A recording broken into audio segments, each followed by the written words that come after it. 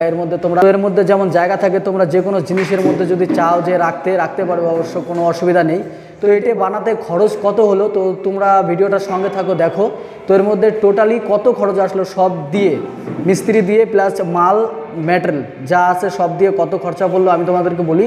তোমরা যদি কেউ এরকম বানাতে চাও, যেরকম এটা দেখো, তোমার হচ্ছে fibre and black fibre and black mica দিয়ে আমরা করেছি। হ্যান্ডেল অ্যান্ড অটো কবজা সহকারে দেখতে পাচ্ছ এই কবজাগুলা। এই কবজাগুলো স্টিলের খুব ভালো অটোমেটিকলি বন্ধ হয়। তো তো তোমাদেরকে দেখাই, আমরা সম্পূর্ণ পাল্লাগুলো খুলে দিয়েছি। এখন দেখতেই পাচ্ছ যে ভিতরে অনেকটাই জায়গা আছে। তো আমি দূর থেকে ভিডিও করছি, যেহেতু এটা উপরের জায়গা, আমি সম্পূর্ণ জায়গাটা নিতে পারছি না। তো বুঝে গেছো হয়তো যে এটা কেমন থাকে। তো এটা নিচে আছে বাথরুম যার জন্য উপরে যে ফাঁকা জায়গাটা ছিল স্টোরেজ সেটা বন্ধ হয়ে গেছে। তো এই পাল্লাটা দিলে তোমাদের খরচা পড়বে এই টোটাল জিনিস। মাল মেটেরিয়াল দিয়ে তোমাদের খরচা হবে। বারো থেকে পনেরো হাজারের মধ্যে টোটাল কমপ্লিট হয়ে যাবে।